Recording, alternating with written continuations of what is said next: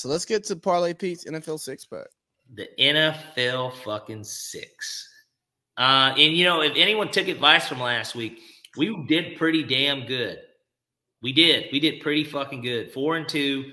Uh, and the two losses were the Raiders didn't cover the spread. Gosh, and you know they were they really should have covered that spread. The Giants aren't good. I got to watch them firsthand. Not a good team. And then I had the Bears money line, which was the upset of the week. And well, we saw that the zebras, you know, did what zebras do: fuck up jungles. And so uh, I'm so tired of this taunting nonsense, man. Get it out of here. Yeah, it, it's ridiculous, and and it cost it really did cost the Bears a game, considering it was a big comeback. But we got an excellent six pack this week. So let's crack open that first beer. We're going to go ahead and do it. I know that everybody doesn't like this when I do it. Ooh, Falcons bet. God damn it. You, you're fucking right. We're not going to take a money line. And I didn't last week either. I actually took them on the points, even though I actually personally did bet the money on. Um, we're going to take the Falcons plus 10 and a half. So the spread is at nine as of today. So you got to buy the point and a half. But give me the Falcons 10 and a half. I don't really see them losing double digits uh, I think the game is going to be close, and ultimately, it's going to come down to really who has the ball last, just like it did the last time they played. And guess what, man? The ball last. And guess what? You give Matt Ryan nine, ten points. You like it. I love it. And more importantly, I just think the Falcons, they've been road warriors this year. They've lost one game on the road, and it was a game that they were in in the fourth quarter, down three with the ball to the defending champs. I like um, them on the road. They've been they're road warriors. I mean, they really have been playing well on the road. The London game was considered a home game, but that was a road game at the end of the uh, yeah, we, we've we've not gone to a game at at at, the Benz and watched a, a win. They're they're four. They're so if we count that, they're four and one on the road this year. I like Matt Ryan in these situations. He torched them last year. I, they're better. Dan Quinn's got the the the the revenge angle going. And, you know, he knows a lot about Matt Ryan, but Matt Ryan knows a lot about him and how he was picking apart probably the fucking defense in practice all those years. Um, so I think he knows exactly where to throw in that zone that uh, Quinn runs. So give me the Falcons plus 10 and a half. Next game. Let me get the over in the Kansas City Chiefs at the Las Vegas Raiders over 52. Um, typically these games are shootouts, and the Chiefs already didn't score any points last week, and the Raiders kind of didn't score any points last week. I expect both offenses to get back on track and for there to be points. And it's on Sunday night football. We're not going to have a defensive match between those oh, two teams. You got Chris now. You said who? We got Chris and Al. Yeah, Chris and Al. Chris and Al. I know how much you love Chris and Al. Um, and there's nothing wrong with loving Chris and Al. You know, there's there's nothing wrong with those guys. I don't I don't know why you have such a big issue with those guys. I think that they they call a fair game. Okay, they call yeah, a fair game. Unless Patrick Mahomes is playing, like like like Chris is going to really be really going to be into the game. He's really going to be like rubbing Mahomes up, man. I don't want to hear that shit. Probably. He's like, you see here, Patrick Mahomes. He he leads the NFL in turnovers, but God damn it, does this guy know how to throw that football? Look at that pass to Tyreek Hill. Travis Kelce opening the seam, and he just looks the other way and throws it to Tyreek Hill. Give me the over 52. I love the over uh, in that game. Uh, next game, let me get the Buffalo Bills minus 13. They had a stinker in Jacksonville. They're at the Jets. Uh, they really should walk over these guys. The Jets do suck. We saw the Colts really put it on them, and now the Bills are pissed because they're coming off of a bad game themselves. Not only that they lost, but um, they they really this guy, this Mike White. Uh, guy, I want to know who that is because uh, I know it's not really Matt Nagy, unless Matt Nagy is tuned in. Which, if so, we appreciate it, Coach. But you're still going to be reluctant to get an offensive coordinator job next year. And so, um, you, Matt, come on next week, man. We'll, we'll make room for you. Uh, exactly, exactly. And so, I do love, uh, I do love uh, the Bills minus 13 in this game.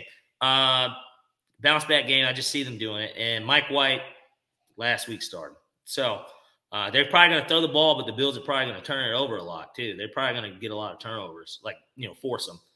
And so, um, next game, let me get the Tennessee Titans money line against the New Orleans Saints. I wasn't impressed with the Saints. They might be without Alvin Kamara. The Titans are just on a roll. They're at home. Um, I haven't seen a Julio sighting all year. I just feel like there's got to be a game now where him and uh, where because even in the in this game against the Rams where they controlled the entire game, the defense kind of is what did it, shockingly. And so uh, I expect Julio and AJ Brown to kind of get off a little bit on the Saints, um, especially Julio being familiar with everybody over there. He's played against them enough in his career. Uh, the Saints are if they're, I think they're probably going to still try out Trevor Siemian. I just don't see how the Titans get slowed down by the Saints on the road. So give me, give me the Titans. Uh, next game, let me get the over in the Eagles Broncos game. Uh, oh no, I'm sorry, not the over. I said that wrong. The under in the Eagles Broncos game. It's at 45 and a half. Give me those odds. I love the idea of this being a defensive slugfest. The Eagles defense still isn't terrible. Um, they proved that kind of even against the Chargers. Like that game came down to the end. I expected to be a close game. Denver's defense is still their calling card, too.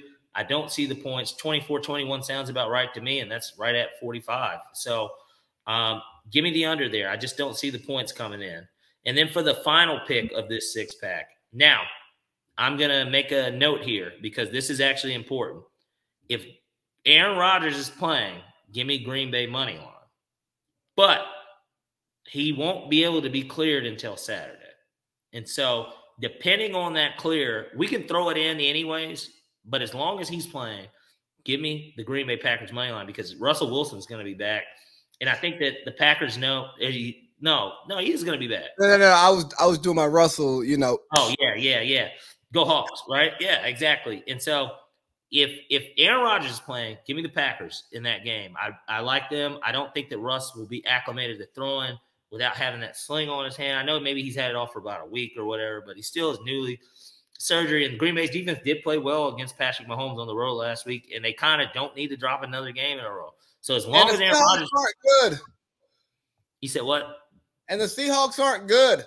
They aren't. They're not good. And so and and that's a kind of a rivalry match too for what it's worth. Kind of like how the 49ers and Cowboys are. That's like a rivalry match between those. Oh, two. yeah, because Aaron doesn't like Russell. And uh, they, just... they, played each other enough times. The Fail Mary game, the NFC Championship. There's been enough moments to where that could be considered a rivalry. Did you sure. uh, did you uh, watch Aaron on McAfee this week? I didn't watch the whole thing, but I watched like 10 minutes of like the whole him explaining. I watched all that for sure. Did you watch did you hear McAfee just like talking shit about Russell, like with the slick little hey you you've been in the backyard, like breaking the huddle, you know, calling the plays, going out there working the two minute drill? Right. I didn't see it, but I, I, can only imagine exactly what he was saying. But hold on, I wanted to add one more thing in case Aaron Rodgers isn't playing. Okay. So we can just add this as a bonus just because if he isn't playing, I would want you to make this pick as a part of that six pack. Okay. Give me New England minus two and a half against the Browns. I think that Bill Belichick's got something for that ass um, first of all, because they're coming off the high of winning a game. Uh, do the Patriots have a winning record? They're five and yep. four, aren't they? Yep. They're five and four. They're at home. They're gonna already be on a short week because they have to come here to Atlanta next Thursday. And the defense is playing a lot better. Mac Jones is clearly playing a lot better. I like New England in this game. I think that he's going to neutralize Nick Chubb and he's going to make Baker beat him, and Baker's not going to do that. So give me Belichick over Mayfield uh, seven days out of the week and twice on Sunday. You know what? You like it. I absolutely love it. And you know, um, Bill has that. He has that beef with Cleveland because you know he wants coach. Yeah, he's the former coach. Yeah, exactly. There's a lot more. It's a deeper. It's a deep match for him. I know it is. Like, and and of course, and it and it actually does mean something. So so for NFL six pack, we got Falcons. Uh, you're taking uh, plus 10 and a half points versus Dallas. We're going to buy a point there, right? By a point and a half. By a point and a half. At nine. It was it, so it opened up at 10, but it was at nine today. So uh 10 and a half though. So if you can get it alternatively, or if you have to buy the point, 10 and a half regardless. Buy the point, 10 and a half. We got we're gonna take over 52 in the Kansas City Las Vegas game. Mm-hmm. We're going to take the Buffalo Bills at the Jets minus 13. We're going to take the Titans money line against the Saints. We're going to take uh, under 45 in the Eagles Broncos game. 45 and a half. 45 and a half. Oops. Under 45 and a half. We're going to take uh Green Bay on the money line if Aaron Rodgers is playing. And yeah. if Aaron yeah. Rodgers is playing. He has to be playing. I wouldn't make the bet if he's not playing. If Jordan Love is playing, you know what? You can just go ahead and cancel Christmas, buddy. Uh, because I played Russell to honestly win that game. And then uh if if not our extra bet, our bonus bet is uh we're gonna take New England minus two and a half versus the Browns. Yep. And and if you could, once you put it up too, you know, put that disclaimer. The Aaron. I, I'm, I'm, yeah, I'm, I'm, gonna I'm gonna type in the disclaimer. Uh, I, I'm, I'm gonna be honest with you. These picks were inspired to go perfect this week. I hope that I really do think I can go 12 and 0 with these picks this week. That's just how good I was trying to be about it.